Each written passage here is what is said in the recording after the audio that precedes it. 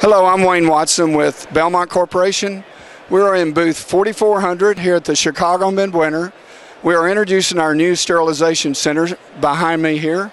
It's called the Qualis unit. It is 13 feet long. It has features and benefits that really address some of the challenges and the needs, and certainly the safety element of the sterilization area. You can see that uh, all of our doors are frosted and we call these laser mounted doors. Real nice fit, puck lighting, gives for a real nice subtle lighting effect. Um, to access areas in the cabinet, we do have pneumatics built in. Pneumatics in this case is going to allow you to access the sharps and waste drop.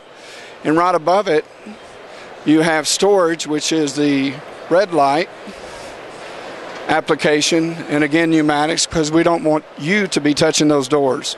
So dirty storage right here running behind during the day allows you to store them, bring them back, and then go through the sterilization process. On the countertop, again, utilizing countertop storage concepts, we countersink the uh, cold sterile to the ultrasonic. This particular one is ma- manufactured by Sonix 4. It is a large one for large IMS cassettes. We believe in cassettes. We think it's the easiest way and the safest way to transition instruments.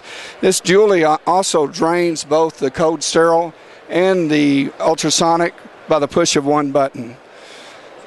As far as the back side of the cabinet, all customized. If you want some shelving, they usually will be tempered glass shelves we get back to our instrument uh, staging to the autoclave. And right at this point, as you know, you're going to be rinsing instruments. Historically, you see instruments laid out on towels. In our case, we've integrated the upper curve product, which accepts uh, loose instruments or cassettes.